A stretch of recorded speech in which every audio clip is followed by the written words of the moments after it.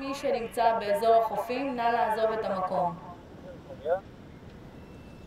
אתה לא יודע שיש קורונה עכשיו בחוץ? אני יודע. אז הצורך שלכם כרגע הוא לא חיוני. לבוא ולשבת פה ולראות את הים זה לא חיוני. אסור בכלל להתקרב לחופי הרחצה.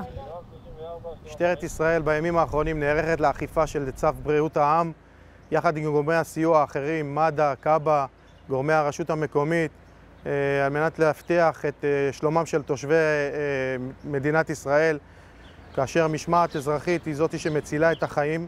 אנחנו אה, ערים פעילות אה, רחבת היקף של גורמי הסיוע ומשטרת ישראל אה, בגזרות השונות, בערים השונות, על מנת להבטיח את שלומם של התושבים.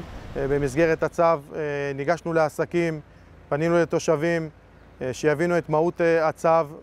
אה, כשנשמעים להנחיות, ככה מצילים חיים. צהריים טובים, מה שלומך? הכל בסדר? אתה מכיר את ההנחיות לגבי מוניות, נכון? שבן אדם אחד מאחורה, בסדר? עם חלון פתוח. זה ההנחיות. אחלה יום, בריאות, בעזרת השם. ביי.